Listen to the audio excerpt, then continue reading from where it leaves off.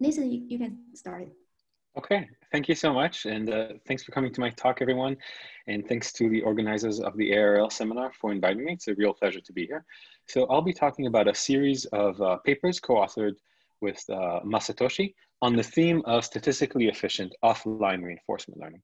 So to motivate my talk, to motivate my talk, I want to start by talking about the potential for reinforcement learning in medicine. Um, so in particular, consider the case of sepsis, which is when the body has an extreme reaction to an infection. Sepsis is also a leading cause of death, of death worldwide. And despite this very morbid status, it's actually not quite clear what's the best treatment plan to manage uh, sepsis. And the reason for that is that there's a lot of different interventions that doctors uh, can take uh, to help uh, sepsis patients, like uh, apply vasopressors, give IV fluids, take away IV fluids, and there's uh, potentially a lot of heterogeneity in how these interventions affect different patients, uh, showing different uh, variety of subtle symptoms and different uh, progression of their sepsis. So while there just may be too many patterns for us to comprehend, maybe this is a great opportunity for reinforcement learning. So indeed, in recent years, we've seen a lot of success uh, of reinforcement learning in playing video games or uh, teaching a robotic hand how to solve the Rubik's Cube.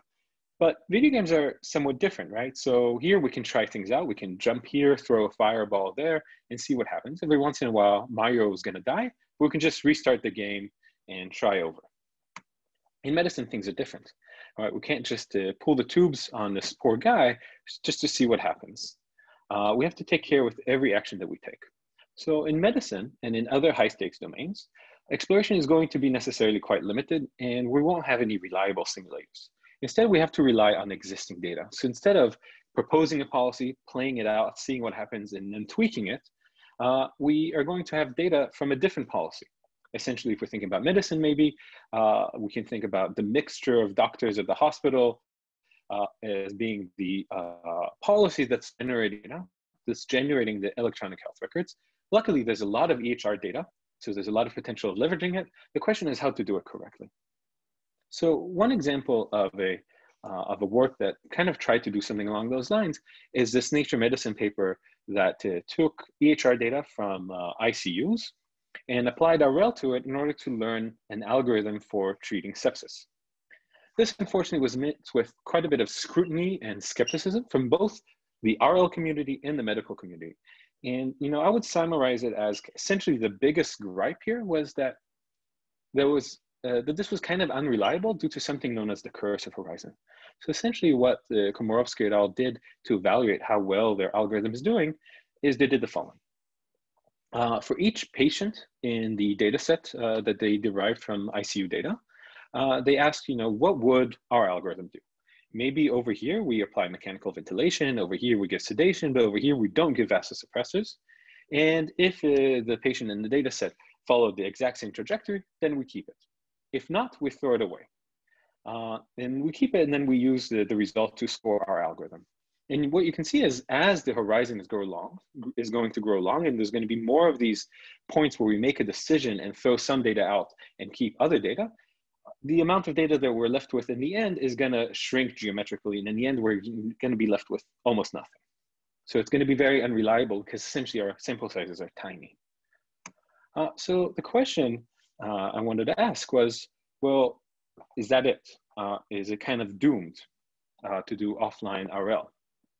And so what I want to try and, and do to overcome this is to think about how does uh, problem structure allow us to go beyond this? How can we leverage problem structure to make better estimates and uh, inference and down the line, maybe learning as well? In particular, like maybe our problem has Markovian structure or time invariance or ergodicity. And the question is, what does this do for the fundamental limits of offline reinforcement learning? And the theme kind of, of what I'm going to talk about is, well, we only have the data that we have, right? We don't have simulation, we don't have experimentation, we just have the data. So we better use it to its mostest, right?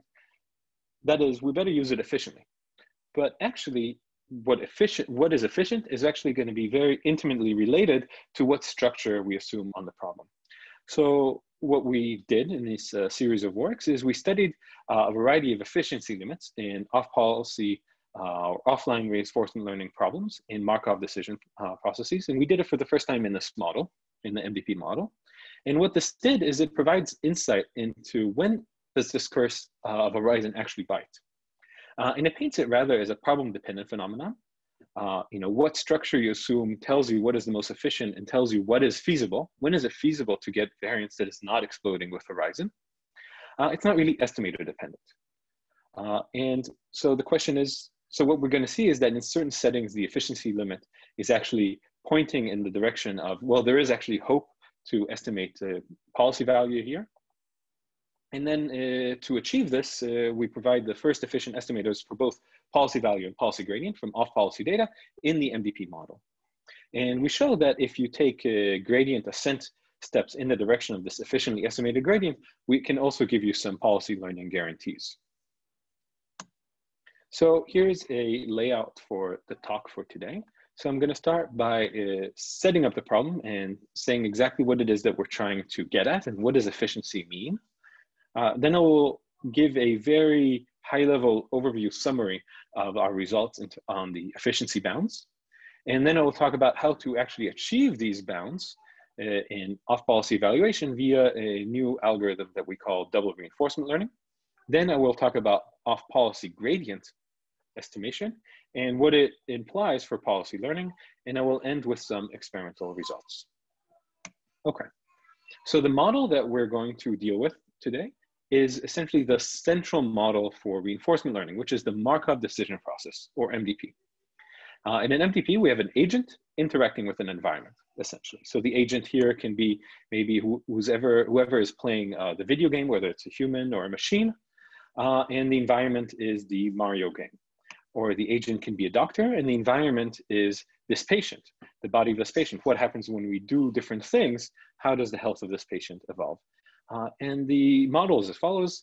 At each round, the agent is going to see the state of the environment, ST, and depending on the state, uh, she's going to take an action. So the action is simply going to be described by uh, uh the policy, which is just a distribution of actions given states after taking a particular action, uh, the environment is going to uh, react by advancing to a new state, which is drawn from a transition distribution that depends on the current state and the action that we took in it. And there's also going to be a reward uh, omitted, emitted that depends on the current state and action. And then we proceed to the next round. And essentially what we want is we want to maximize the rewards. So specifically, if we think about uh, the MDP, the problem here, the environment is described by an initial distribution, a transition distribution, and a reward distribution. If to this, we also uh, specify a policy, that is, what are we gonna do in every state? These two things together is going to give us a joint distribution over trajectories. That is over the random variables S0, A0, R0, S1, A1, etc. Uh, and the way it does this is simply just multiply the probabilities and it gives you a distribution over this. Okay, so now we have a joint distribution and I'm gonna call this distribution P sub pi to highlight its dependence on the policy that we choose to play, pi. Okay, and then the policy value is simply going to be the average discounted reward when the rewards are, you know, drawn from trajectories that we get when we play policy pi. So simply the expectation of these RTs according to this distribution uh, for pi. And we can also think about the long run average rewards, which is simply the limit of this thing as t is going to infinity. And notice, you know, I'm normalizing here. So gamma here is a discount factor.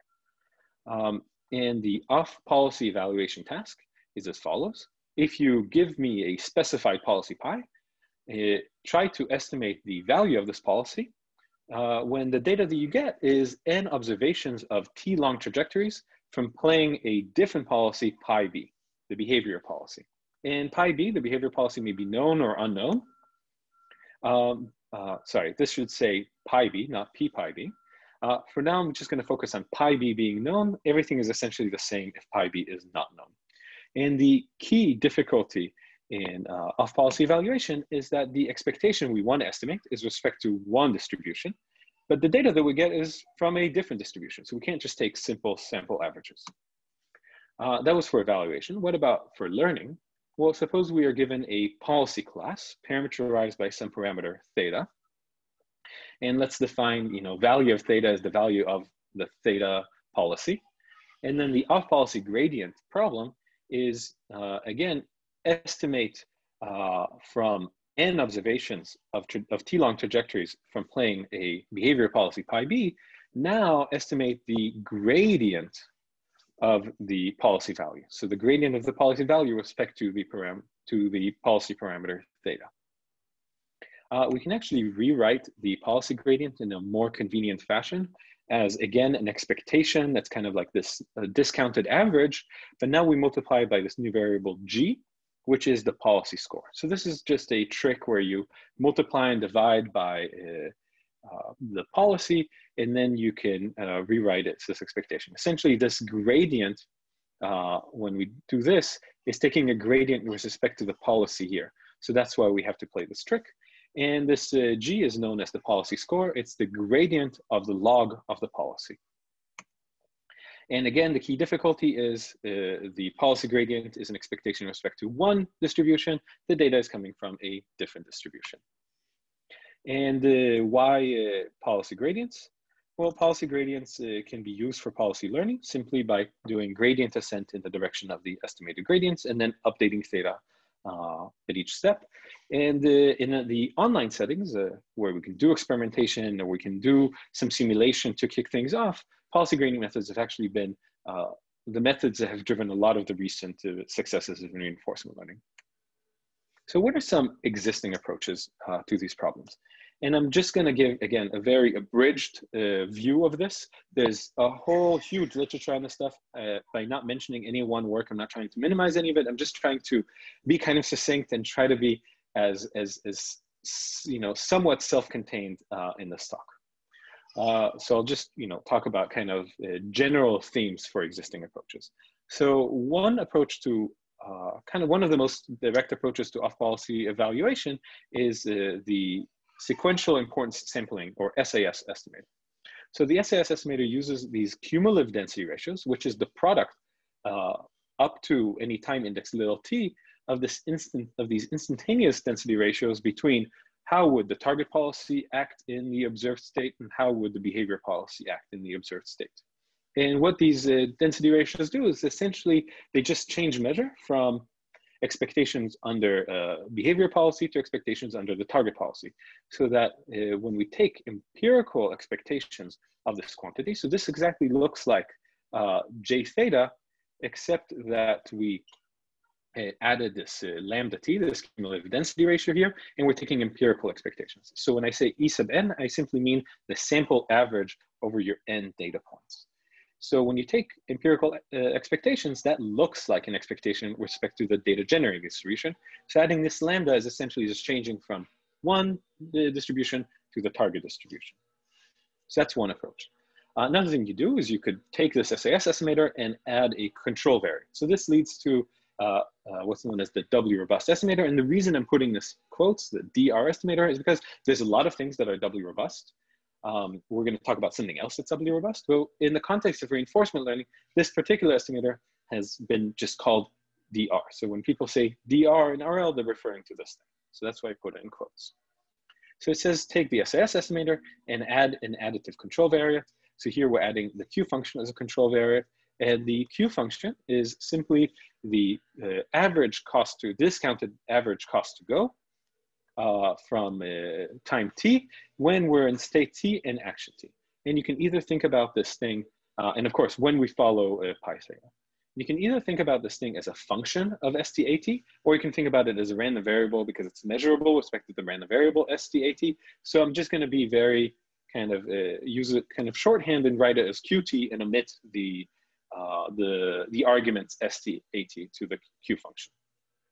Here Q hat is just an estimator for the Q function. We don't actually know the Q function, so we estimate it and we plug it in as a control variance.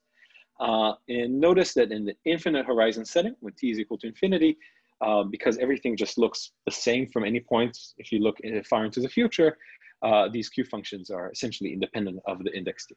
So there's a lot of variants of this DR estimator. There's different ways to choose the uh, control variable. You don't have to plug in an estimate. You can try and optimize it or do other things uh, but you know, I won't talk too much about that.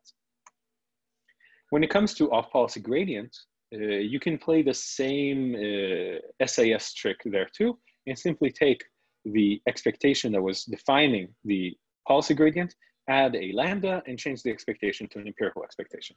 So this leads to something that sometimes we call uh, reinforce. Uh, you can also reformulate this in terms of the Q function. This leads to something called Off-PAC, or sometimes this thing is actually just called policy gradient or off-policy gradient, uh, even though it's just one estimator. And essentially, all of these estimators are going to suffer from this uh, curse of horizon. So here is a very kind of naive, sketchy view of it. Uh, we're going to be a bit more uh, rigorous about it later on. Essentially, if the instantaneous density ratios uh, are some constant, right? So of course, if the density ratios are one, that's exactly the setting where the target policy is the same as the uh, as the behavior policy, and we're essentially doing on policy learning. Uh, if it's uh, if they're different, then this ratio will be sometimes smaller than one, sometimes bigger than one. Uh, generically, if it has a you know kind of a moment uh, c, it's still bounded. Uh, then what we're going to get is that these cumulative density ratios are going to look like c to the t, so they're going to explode exponentially in t. And all of these uh, estimators above are going to have variance that explodes exponentially in the horizon capital T, and in particular, we'll have infinite variance when capital when the horizon is infinite. So the question is how to break this. Right? So in the beginning, I mentioned, you know, maybe let's try and be efficient. Maybe if we're efficient, we can do better than this. So what does efficiency mean? So again, I'm just going to give a very brief uh, overview of efficiency theory, just to be self-contained. Um, so it goes something like this. Suppose we have a model M that is simply a set of possible uh, data generating distributions uh, blackboard P. And we have a parameter of interest tau, which is just a function from the DGP uh, to R, right? It's just some aspect of the DGP that we care about. Uh, then if we're given IID data, so just data XI's observations that are IID from this DGP, and the DGP is just some element in the model, what we want is a good estimator that's gonna be a function of the data, and it should be a good estimator for the true value of the parameter, which depends on the true DGP. And we want to use the data to the most, essentially. Uh, so the essentially one of the punchlines of semi-parametric efficiency is the following. It says that any estimator that is going to work for all instances in the model, or more technically, is a regular estimator with respect to the model. Okay, so if it works for all instances, then for each instance, it must satisfy the following. If we look at its MSE, the mean squared error, and we scale it up by n, then the limit infimum, infimum of this has to be at least some quantity, which we call the efficiency bound. And the efficiency bound is uh, the expectation of some function squared, and this function is known as the efficient influence function, and it can be thought of as a derivative of uh, the parameter with respect to the DGP. Okay, so it says that you can't beat this. If you work for all things in the model, then for each thing in the model, you will be lower bounded by this uh, mean squared error lower bound. And so how does this apply to our problem? Well, for us, the target parameter is either gonna be the policy value or the policy gradient, and the model is going to be the set of all distributions over trajectories when essentially the behavior policy is fixed and the MDP could vary arbitrarily. Okay, so for all possible MDPs, because we don't know what the MDP is. So that's the model. And that's what we're going to be working with. But it's actually going to be quite insightful to think about what happens when we consider bigger models, right? We consider bigger models, the efficiency bound is going to be higher. Uh, maybe there's settings where there, this is actually harder. So in particular, we can, you know, we started with this uh, Markov decision process model.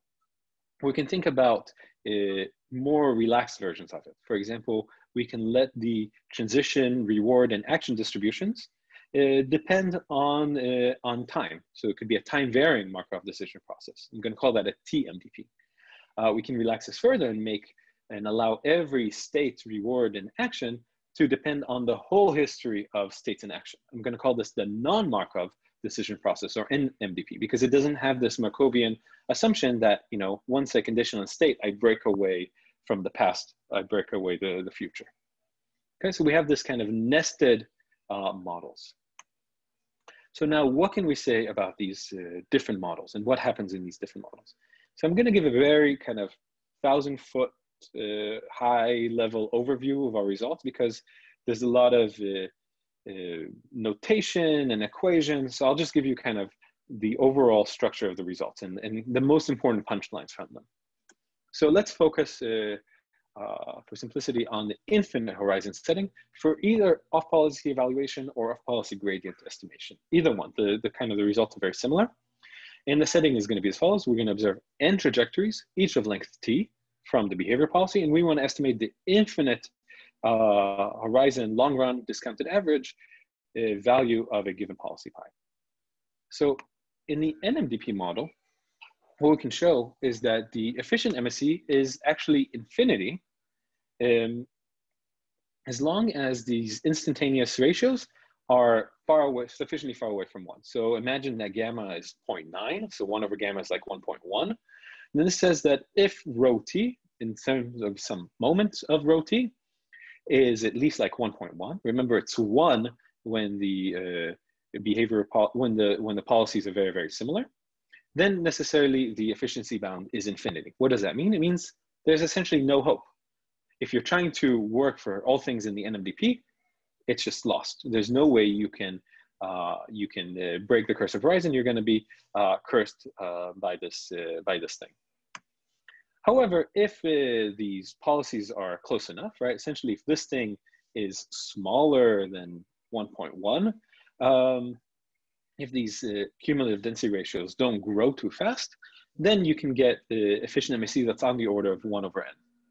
Uh, but I put a little uh, video game character here because this is essentially like the on policy set. This is essentially saying the target policy is so similar to the behavior policy that you're essentially doing on policy learning for all intents and purposes because you know any any differences between the policies is being washed out by the uh, discount factor. So essentially, what we're saying is NMDP, forget it. You know, it's for long horizons. There's no hope. What about the TMDP? Okay, so time varying Markov decision process. There, instead of requiring that the uh, cumulative uh, density ratios don't grow too fast, we actually only need that their marginalization with respect to STAT doesn't grow too fast in order to get this finite efficiency bound. Okay, so the question is when can we guarantee it? Well, actually, this is very hard to break. This will almost always hold. In particular, if you have uh, um, transition and reward probabilities that, uh, that are time invariant and your policy is time invariant, you will always have that this thing is going to be bounded. It's going to be big O of one. So it's never necessarily going to be um, satisfy this condition, and you're going to be able to break the curse of horizon. But to do that, we kind of argue that it's an MDP, it's time invariant, in order to argue, okay, this thing should be bounded. So in some sense, yes, you're breaking the curse of horizon, but it's just a really crappy uh, efficiency bound because if you're assuming MDP structure, you should leverage MDP structure to its mostest and get something that's efficient. So what happens in the MDP model? Okay, when things are um, time invariant, so all the transition and reward probabilities are invariant over time, in that case, actually the efficient MSE should scale on a in a completely different way because now not it's not that every trajectory is kind of informative, but really every transition is informative. So we actually have NT transitions uh, when we observe N trajectories of length T. So the efficient MSE should really scale like one over NT. And uh, all we need here is we actually don't need N going to infinity. We can have a single trajectory where the length of the trajectory is going to infinity, as long as these trajectories are ergodic. Okay, so that uh, we're kind of learning, exploring uh, all areas. In that case, we should be able to achieve um, an efficient MSE of the scale of one over NT. So let's clean up this table a little bit and focus on just the punchlines. So NMDP, hopeless. You're gonna be cursed by the curse of horizon. TMDP, you can uh, overcome the curse of horizon, but it's kind of a crappy rate uh, if you really are in an MDP model, you should get a rate that is, you know, orders better, right? One over n times t. So the question is now how to capitalize on this and how to achieve something that has this very nice rate. So next I'm gonna talk about an algorithm that tries to do that. It has to do efficient off-policy evaluation. And just to give an overview of our efficient estimation method, uh, results, uh, before delving into an example, they all kind of take the following flavor. Uh, in our efficiency analysis, what we did is we derived the efficient influence function. So here we actually derived the EIF uh, for each of the cases, whether it's MDP, TMDP, uh, or MDP, um, whether we're looking at uh, policy value or policy gradient, whether the horizon is infinite or finite. Uh, for each of those cases, we get an EIF. In all of those cases, the EIF is going to involve some unknown nuisances. So it can be written as um, some function of the data that depends on some unknown nuisances that depend on the instance minus the target parameter. So tau for us, remember, is either policy value or policy gradient.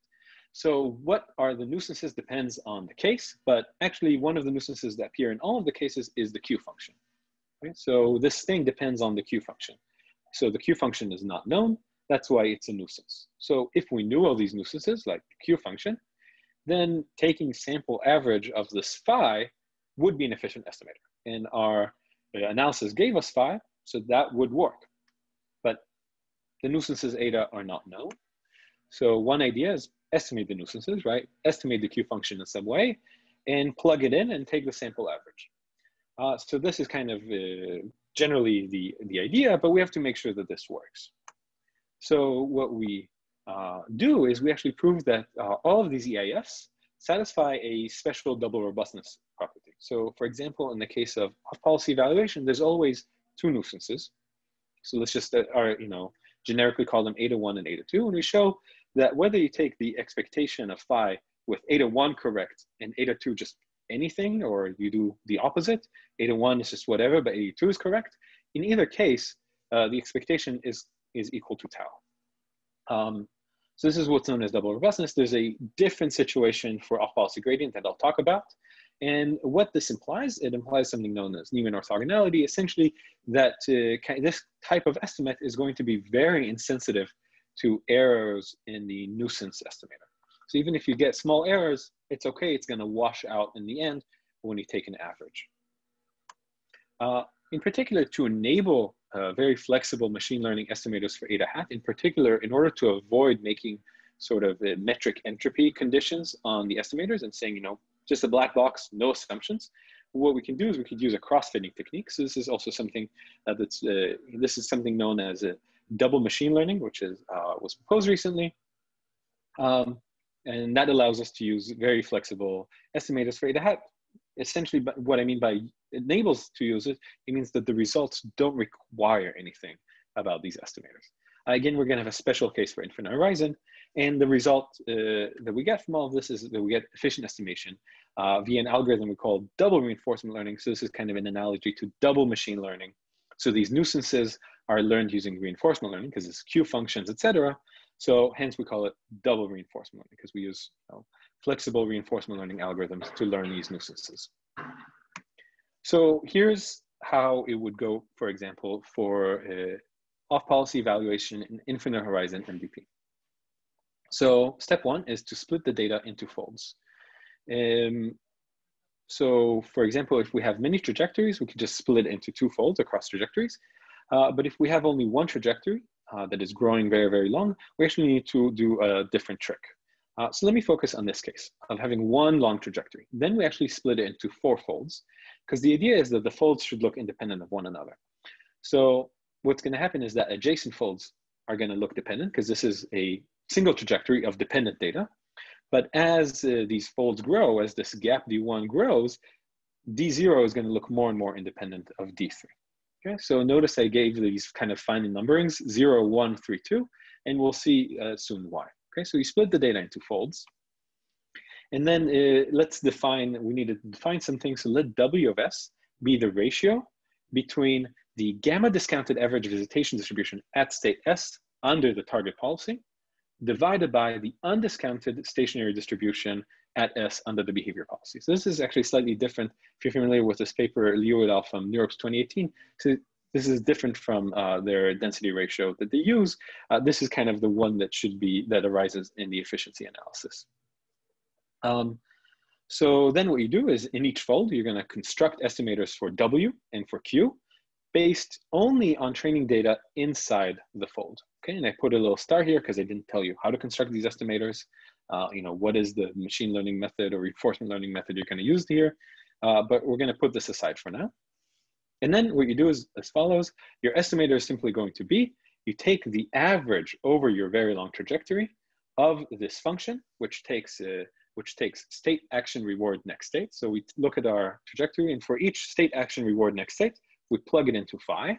And phi also cares about uh, the W function and the EQ function. So what we plug in there is going to be the estimates that we fit on the fold that's far away. Okay, so when we're uh, doing something on a transition SAR next S uh, that is in D3, we're going to use nuisances estimated on D0. When we do the average of something in D1, we're going to use nuisances uh, that were fitted in D2 to make sure that there is this separation between the average that the, the transitions that we're averaging over and the uh, nuisance. And then what we can show is the following. If our uh, both the behavior and the target policies induce Harris ergodic chains on the Markov chain of, of state action reward. Uh, then we can have the following. If the Q functions are estimated at a rate faster than alpha 1, the W functions are estimated at a rate faster than alpha 2. And if these alphas sum to at least a half, and we have some mixing conditions, then our estimator is going to be asymptotically normal with asymptotic variance given by the efficiency bound. Okay, so in other words, it's efficient and asymptotically normal. And uh, the key feature of this theorem is that we're making no assumptions on Q hat and W hat, right? There could be anything. All we want is slow rate. So we make no kind of entropy conditions on it. We can use some black box machine learning. We just need rates. And in particular, we need slow rates, like alpha one and alpha two equal to a quarter would satisfy all these conditions. But you can have other things uh, you can have any things that kind of uh, allow for this trade-off. They're just, it's just that their sum has to be at least a half. We can even show that we have sort of uh, a double robustness guarantee that even if one of these, uh, these uh, estimators is consistent but not the other, we are still uh, consistent. So we can kind of draw this in a Venn diagram where each circle is essentially where each of these uh, estimators is consistent. So if either is consistent, where we are consistent, and if both are consistent at slow rates, then we're going to be efficient. So red, efficient, blue, consistent. Uh, and there's a bunch of other results in the paper, uh, such as uh, efficiency in the different models, efficiency under other conditions on the estimators, finite sample guarantees, not just asymptotic guarantees, uh, results for finite horizon, uh, what happens if the behavior policy is unknown, and kind of discussing the inefficiency of doing anything else. So remember I put a star on construct an estimator. It didn't tell you how. So let me just briefly, briefly discuss how you might do that. So actually W and Q can both be defined in terms of conditional moment uh, restrictions. So W solves this conditional moment restriction, Q solves this one. So what you can do is you can estimate, if you want to do some parametric estimation, you could do this using say a uh, GMM method, generalized method of moments. Or if you want to do this non-parametrically, you could use a sieve since you just grow a basis expansion. And in the paper, we provide rates for this. Uh, but in practice, you might want to use uh, you know, more flexible machine learning uh, models for WNQ, like neural networks. In that case, uh, I would propose to use a, a method uh, that we proposed recently in a paper in NeurIPS in 2019 that we call Deep GMM, which essentially reformulates this uh, conditional moment restriction sol solution as a saddle point problem which allows us to then solve it using neural nets. Uh, but I won't go into that too much because I want to talk uh, about policy gradients in policy learning. Um, so what about uh, efficient estimation of policy gradients? So here there's actually more nuisances, not just Q and W. We also have to think about uh, these new nuisances DQ and DW. So I'm just going to define DQ to be the gradient with respect to theta of Q. And dw is the gradient with respect to theta of w. So now we have four nuisances, and the reason for this is the efficiency analysis shows that the uh, EIF is going to have these four nuisances in there. So not just Q and W, now we have Q, W, DQ, DW. And the estimation technique is going to be very, very similar to before. We're going to do this cross-fold estimation uh, trick uh, to estimate all the nuisances and plug them in into folds that look independent of where we estimated uh, and then take the average over the whole data. And uh, you know, we're just going to plug it into the EIF that we derived for this case, the OPG case. And then we can show the following efficiency result. if the W functions are estimated at rates faster than alpha W, uh, dW with rates beta W, Q by rates alpha Q, dQ by rates beta Q. And if, and if the minimum over the rates for W and dW plus the minimum of the rates of Q or dQ is at least a half, then again, we have asymptotic normality and efficiency. Okay, so uh, for example, if all of these are a quarter, then it satisfies this condition. Okay, so we assume nothing else. So again, we could use very flexible machine learning models, uh, learn this in any any what way, as long as we have these rates. Uh, one quarter works, other things, anything essentially that satisfies uh, this uh, trade-off will be okay. From the robustness point of view, we actually have a kind of a special situation here. Uh, only kind of a three-way double robustness. So what we can show is that we have consistency as long as one of the following three conditions holds. If W and dW are well specified, or uh, that is, are consistent, if W and Q are consistent, or Q and DQ are consistent, uh, then we will have consistency. Of course, if they're all consistent at slow rates, then we will have efficiency. So blue, consistency, red, efficiency. It turns out that it's not enough to be consistent uh, with respect to DW and DQ that would not give you consistency. And um, you know, one way to kind of see that is, um, you know, I don't have the equation on the on the slide because it's a little complicated, but it involves the fact that there is kind of a dv nuisance, uh, uh, the derivative, the gradient of the value function, and the gradient of the value function involves both dq and q because of a of a product rule. Uh, so if you have dq and dw, you still need dv, but for dv, you need q. Okay, so that's why you don't get consistency in this case. Uh, what about policy learning? Well, what we can do with the uh, estimated gradient is then we can take gradient ascent. Okay, so consider the following efficiently estimated gradient ascent algorithm where we do the following. We start somewhere with some theta. Then we're gonna estimate the gradient as theta using our efficient estimator for the off-policy gradient. We're gonna take a step in this direction. Okay, so we're gonna move theta i in the direction of the gradient with step size alpha i. And we're gonna make sure to project it back to the space of uh, policy parameters. And that's gonna be our next, uh, our next policy parameter, theta i plus one. And then we're gonna keep repeating this for k steps. What's our output? What is our final learned policy? Our learn policy is going to be, it's a little bit funny. It's going to be something like this. It's uh, Now we have these k iterates, and we're going to return the ith iterate with probability that's proportional to the ith step size. And that's going to be the policy we return. Okay, so what can we say about such a procedure? Uh, we can actually show the following. Um, if the policy value is differentiable in theta and it's m smooth, if the step sizes are sufficiently small, if the efficient influence function is differentiable with bounded gradient, and if the uh, policy parameter space is compact, then with high probability, the uh, policy that we return, theta hat, is going to have a policy gradient with a small norm. Okay, so this is the true policy gradient of it. So it's going to look like uh, some term like uh, one over the number of steps plus a term involving uh, the uh, probability guarantee over KMT.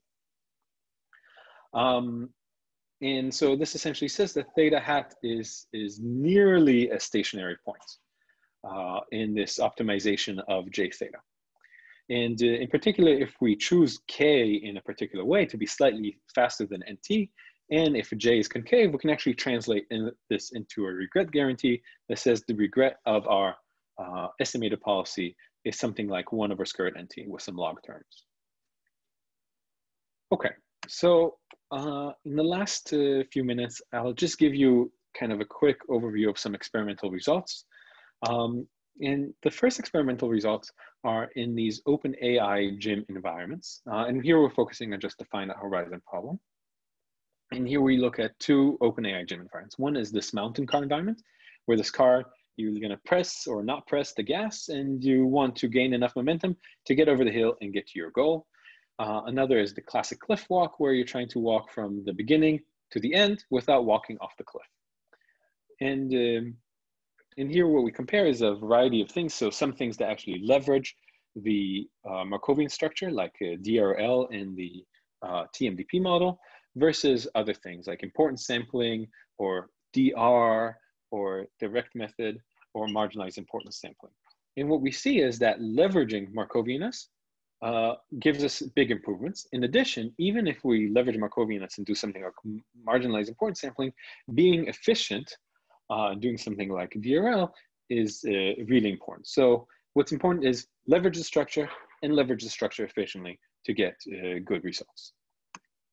Uh, we also have some results uh, for infinite horizon OPE, and here we're kind of focusing on these uh, double robustness guarantees. So if we think about our data set being just a single trajectory, where the length of the trajectory is gonna grow, here what's gonna happen is that methods like importance sampling and, uh, and DR, they're not even gonna converge because N is not growing, only T is growing. Uh, and uh, in contrast, our method is gonna be consistent whether the Q or W model are right. Um, and this is a simulation setting. And then in a simulation setting for the off-policy gradient problem, uh, looking at infinite horizon, uh, we, um, here we're thinking about how fast can we even just estimate a gradient of a fixed theta. So fixed theta, what's the MSE for estimating the gradient? We have a variety of methods here. Uh, so we have reinforce, uh, we have Off-PAC over here, and then these are different variants of our method. So the green is, is our method, uh, actually, but our uh, efficient influence function derivation actually suggests a variety of other methods that kind of drop some nuisances and keep others. So for example, we can do the method that just uses Q and mu and drops the mu and the Q, or the method that only does um, mu and d mu and drops Q and dq. And this is going to lead to different methods um, that kind of have fewer nuisances but are not efficient. Uh, you can see that, you know, doing the efficient thing does the best. But what about learning, which is the target when you're doing policy gradients? Uh, so this is a similar plot by looking at the regret. So here we keep, uh, we take many, many steps of policy gradient descent and then look at what is the regret at the end. And our method is over here and it's a little hard to see because some of these methods are really bad, but you know, we're going down like one over square n uh, in, in, in our regret. Um, so I'll end here and I'll just kind of recap uh, what we did here today. Our aim was to overcome these fundamental limits in offline reinforcement learning that kind of made it pretty much impossible to use in practice, essentially this curse of horizon problem. And the idea was to overcome this by leveraging more problem structure. Uh, because without leveraging more problem structure, it appeared to be kind of hopeless. So we looked at what if we actually leverage the fact that we're in an MDP, right? So things are Markovian. What happens if we leverage time invariance, ergodicity?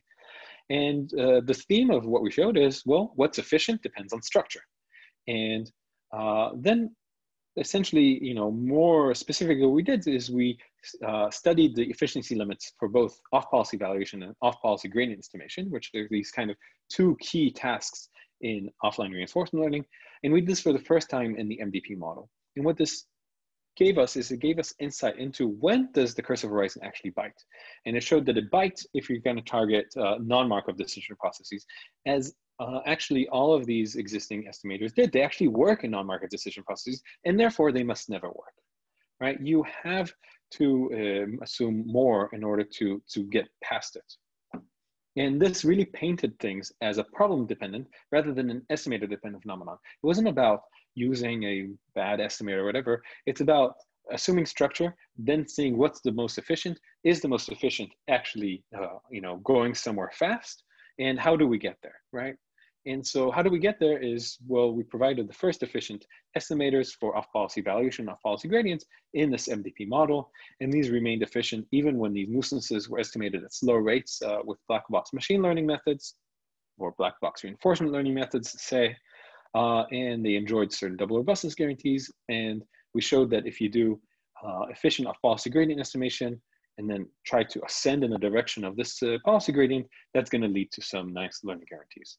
So I will just end here and thank you again for uh, spending your time uh, listening to my talk. Thank you. Well, thank you, Nathan. It's right on time. Um, so uh, can we move to Chengchun? So would you be able to share your slides now? Uh, I cannot uh, share my screen. I think I, I was made co-host, so I can allow it to you. Thank you. Open. Yeah. Um, Um, try it now. uh, could, could you see my screen? Yes. 就 you could, sorry, I just want to say, uh, you could put your question on the Q and A, um, for the, uh, for Nathan and for Chengchun. Okay. Yes, please go ahead. Yeah, so uh, thanks, Dr. Song, for uh, the invitation, and uh, thanks, Dr. Kallus, for the very nice talk. And uh, this is Chengchun Shi. I'm currently an assistant professor of uh, data science at London School of Economics and Political Science. So the rest of the talk today uh, will be mainly focused on discussing uh, Dr. Kallus' talk on statistical early efficient offline reinforcement learning. And maybe just a, a quick summary of uh, Dr. Kallus' talk. So first of all, uh, theoretically, Dr. Kallus uh, derived some uh, some parametric efficiency bounds for uh, not only for the policy uh, values, but for the policy gradients as well. And uh, in terms of methods, uh, so Dr. Kallus proposed like efficient off-policy policy evaluation algorithm, as well as uh, efficient off-policy policy gradient algorithms for offline reinforcement learning. And finally, also, uh, Dr. Kallus conduct some uh, experiments to show the advantage of their proposed algorithms over uh, the classically used uh, all policy evaluation method, as well as uh, the all policy policy gradient algorithm. So next, I would like to uh, briefly summarize uh, the contributions of uh, Dr. Kallus' talk. So uh, I think uh, one of the most exciting part of the talk is that uh, it it is the interplay between uh, reinforcement learning and the classical semi-parametric efficiency theory uh, in, in, in statistics. So if we talk about reinforcement learning, so that has been developed like maybe over 30 years uh, in, in the computer science literature. So we have like all those different kinds of reinforcement learning algorithms and uh, um, th- th- they can all have like some, some uh, convergence guarantees. But what is less known about those algorithms is that uh, whether the, those algo, uh, algorithms they are efficient in some way or not, and whether they they enjoys uh, they have some sort of statistical optimality or not. And given a bunch of algorithms, so if we apply those algorithms to a particular data set, then which algorithm shall we choose uh, on a particular data set? So those, uh, those questions have been less answered uh, in the literature.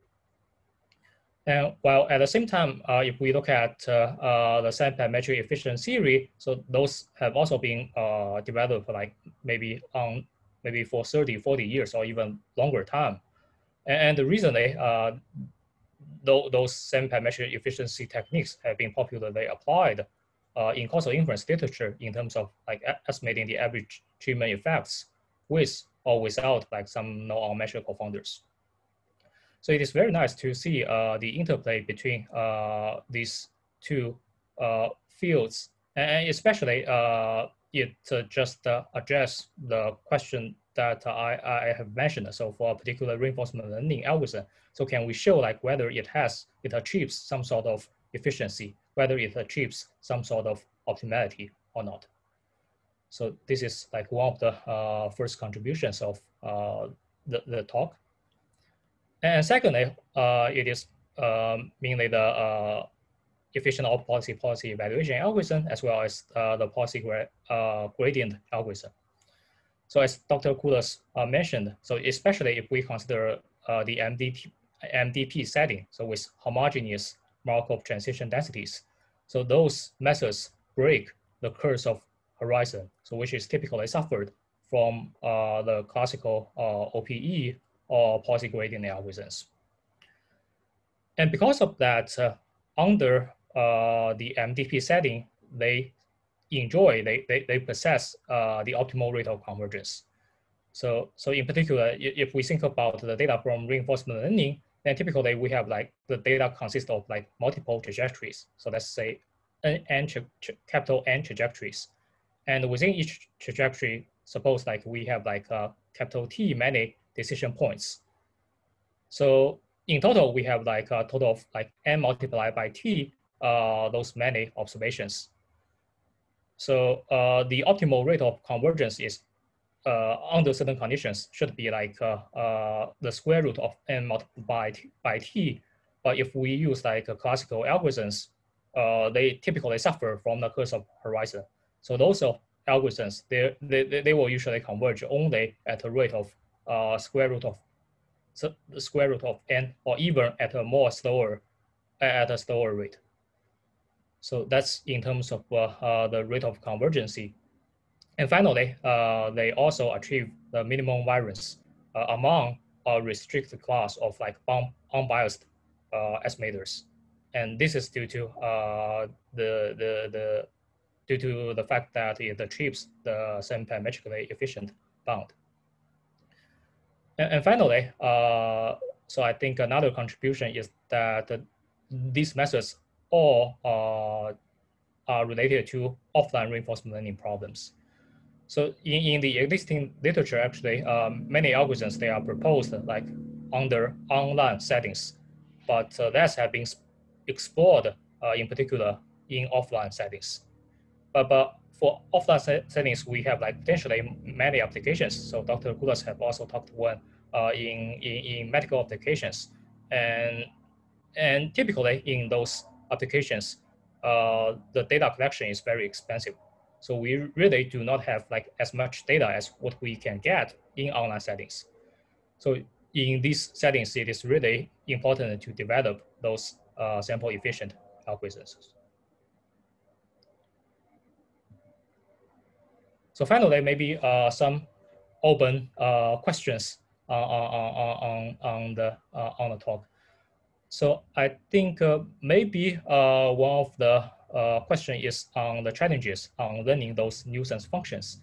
So in order to derive uh, the, the derive those uh, semi-parametrically efficient uh, influence function, so for instance, uh, we not only need to learn the Q function, but also uh, in OPE, we will need to learn like the marginal density ratio.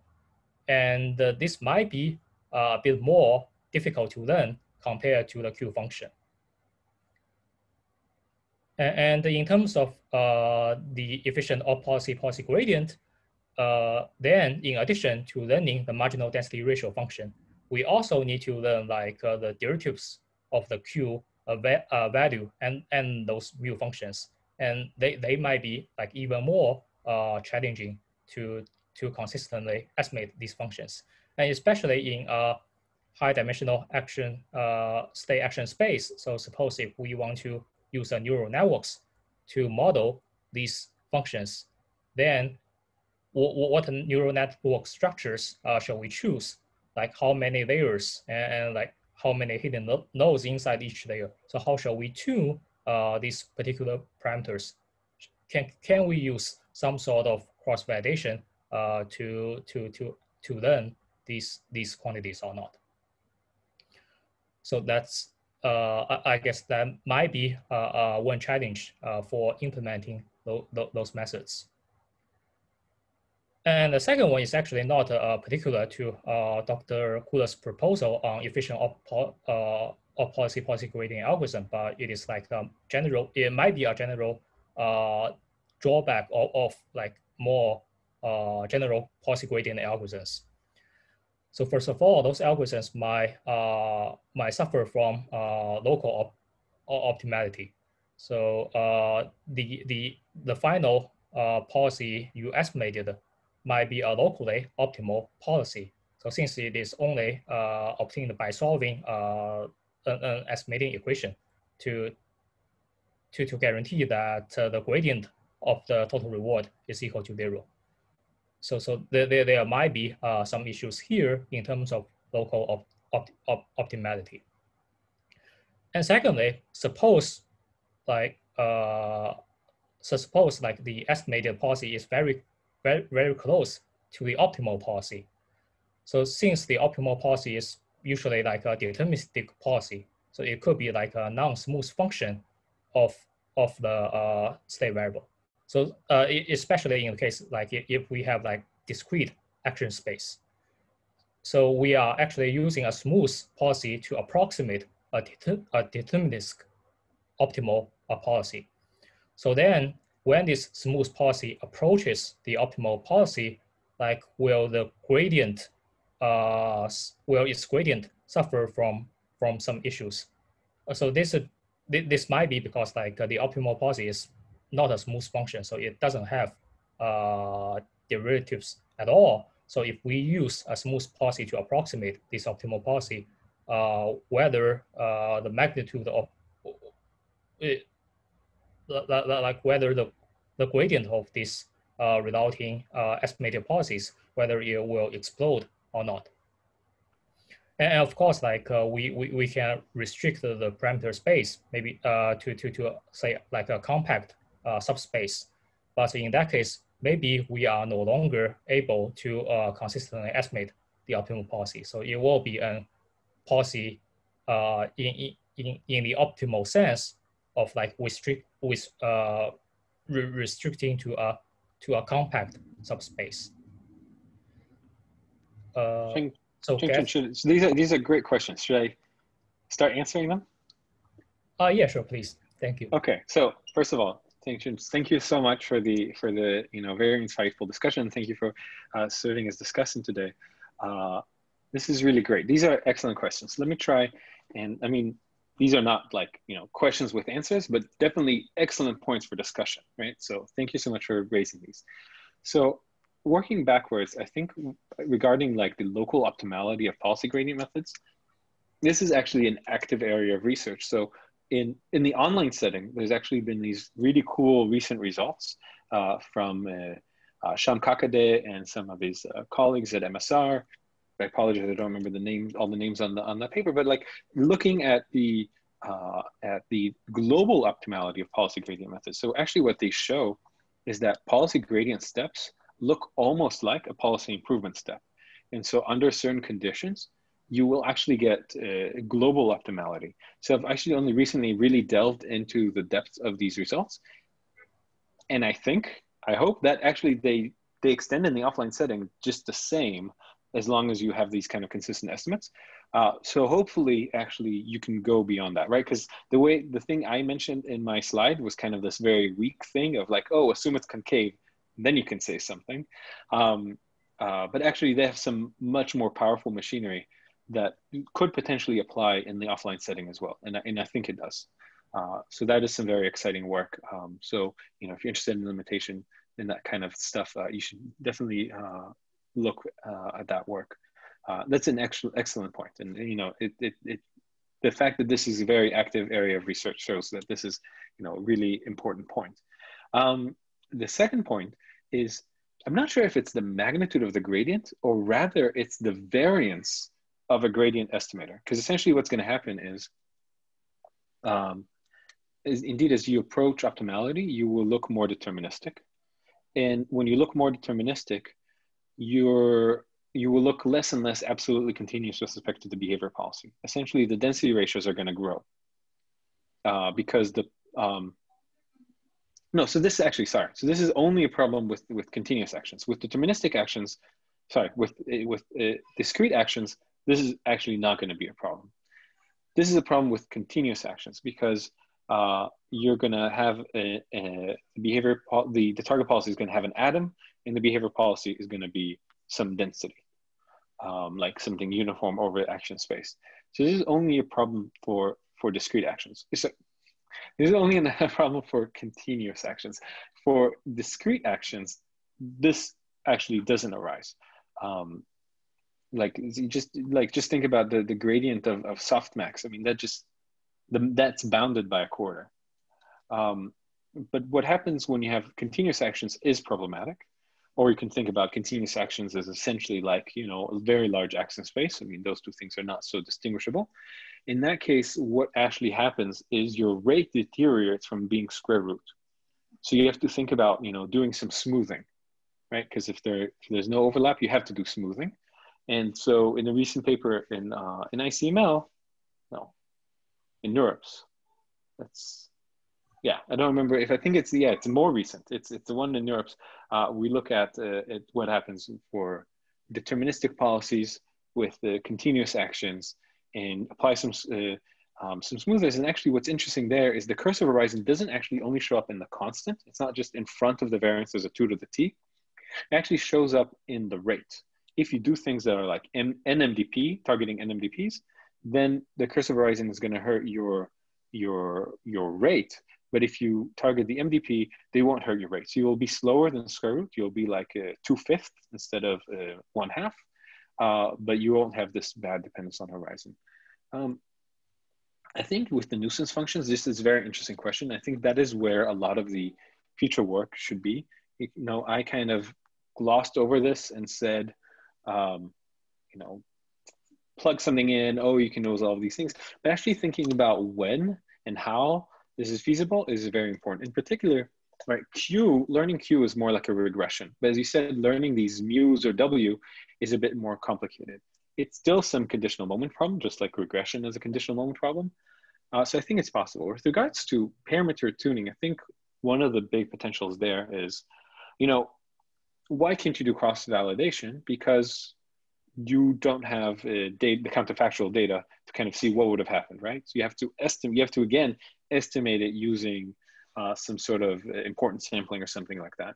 Um, but what you could do is you could try and estimate these uh, these uh, variances and do some trick like optimizing the choice of control variate or optimize the choice of parameter tuning. So this is kind of related to, um, yeah, this was a method that people developed in NMDP, something called uh, more robust, doubly robust, and there's some earlier stuff in causal inference. I think from uh, Marie Davidian, um, I think Tan was involved, something like that, where they essentially estimate the variance, optimize uh, the choice of control variate with respect to the estimated variance. And more recently, uh, Eric Chetkin Chetkin had this paper on how to do this type of thing in the double ML framework. So essentially use this cross-fold estimated stuff to essentially do cross validation. Uh, so I think there's potential. I mean, I think Eric's method applies uh, directly here. So I think there's potential for using that in practice when you're trying to tune these parameters. Um, I think that's an excellent point. Okay, great. Can we? Thank you so much. Can we Thank you. some questions on the uh, Nathan and the Chengchun? Do you want to look at the chat window? Maybe. Okay, so uh, Rune Runze asks. Okay, pi b said. Yeah, actually, I see. let me, sorry. Yeah, actually, I, I, mean, I, I see like there were some questions there like a moment ago, but uh, when I open the Q A box oh, now, like I. No, it's in the chat. Uh, they asked it in the chat. So one person asked, I'll just read out the question uh, for everybody. As said in the introduction, the data might be collected from, for example, different doctors. Any challenges when extending to data generated by a possibly unknown mixture of a possibly uh, unknown behavior policies. So on first I'll say, right, if it's unknown, it doesn't matter. The mixture is just pi b itself. And you don't have to think about the fact that it's a mixture of something else. It's just a distribution. You just have to estimate that distribution. That said, there might be, there is, I mean, actually know that there is an interesting phenomenon in the stratified setting. So if, for example, you said, I get 100 data points from this behavior policy, 100 data points from this behavior policy, 100 data points from this behavior policy. So it's not necessarily a mixture of one third, one third, one third, but actually I'm stratifying fixing, conditioning on the amounts from each one. So I'm conditioning on the fact that a third of the data will come from one behavior policy, a third from another, a third from another. Then you have kind of a stratified sampling phenomenon. And, and, and actually the variance of different estimators is different. Um, uh, so and then actually turns out that there's kind of a dilemma of which estimators use. But in, in, in, in a paper that we actually uh, just posted recently on this multiple logger dilemma, we showed that the efficient thing remains efficient whether you're stratified or not stratified. So if you plug in, if you estimate these Q functions consistently, um, that's going to be efficient whether or not you're stratified. So it's kind of an interesting uh, phenomenon. Another question that everyone's asked is about OPG. Any challenges in computation to recalculate those nuisance functions every step? Absolutely, right? So kind of the naive thing that I presented was saying, oh, at every theta, re-estimate all these nuisance uh, functions. But even in online uh, RL, when people do policy gradients, they have to re-estimate the Q, the Q function. So what they do in practice is they take a policy step, and then they just take a couple, one or a couple gradient steps to update the Q network. So they could totally re-optimize the Q network, but just for practical reasons, they just do like little updates. So I think you could do similar tricks here, where you keep a nuisance networks and you just take a few gradient updates to update these nuisance networks uh, for every policy update. Okay, now question about omega. I'm not sure what omega is. Regarding the estimation of omega, oh, oh, W. Okay, I called it W. Okay. Could you share more about the difference between how to do tuning and evaluate estimates? Um, I'm not sure I understand the question. Um, in Liu what they did is essentially, Liu is like a like marginalized importance sampling for, for infinite horizon. Um, and, and that will still fail to be like root n consistent unless uh, these things are essentially parametric, which is I think a really, really tall order for these stationary density ratios, which is like, who knows what these things are, like what kind of structure they have. Uh, so unless, so if you're gonna estimate the non-parametric, you're gonna get slow rates. So you need to use something that's like orthogonal doubly robust. Um, and uh, deep GMM is just one way to do this kind of maximum uh, moment uh, minimization. TMDP with some additional domain assumption, do you think we can achieve similar results as MDP? Um, I don't quite understand the question. Um, sorry. like if you're making assumptions, I think like these assumptions essentially means that things are stationary, which means things are like MDP. I guess uh, maybe the third question is on like, like for instance, also uh, the, the density ratio omega proposed in Liu et et al is like slightly different from yours, but maybe uh, is it possible to also use similar ideas like form it into a minimax problem to estimate uh, the, the, the ratio uh, in, in, in your in your proposal. Yeah, yes. So, so that, that essentially amounts to taking the like the moment restriction and, hitting with test functions and taking the sup, which is like what deep GMM does, but with neural networks and shows certain convergence uh, guarantees. Yeah, uh, but it's different because, so I think in Liu et al, it's the ratio between gamma discounted over gamma discounted, but the data, but think about it this way, the data you get is, is just trajectories. It's not coming from a gamma discounted distribution.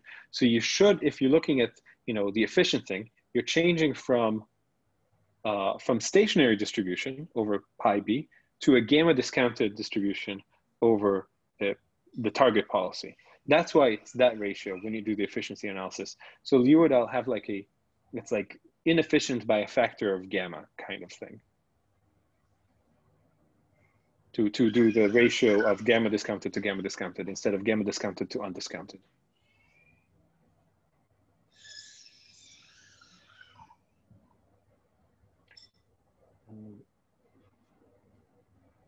Uh, Dr. Koudos, uh, so I see yeah. there's another question on the chat as well as the Q&A box. Okay, the sample efficiency question. Yeah, so I think, so sample efficiency here is with regards to estimation. It's with regards to estimating whether it's policy value or policy gradient. Um, and it's, uh, it's with regards to uh, asymptotic rates. It says that um, you get kind of asymptotically or even in finite sample, the leading term in your error bounds will have the minimal constant. Uh, now, in RL, we often talk about like sample complexity of learning. So in that sense, I think it's still an open question to kind of characterize the sample efficiency of off-policy learning. So here I focused on like efficiency questions of estimation, and I showed one implication for learning, but I think being a bit more digging deeper into the learning question and saying what is efficient? Is this efficient? What would be the best? is still somewhat open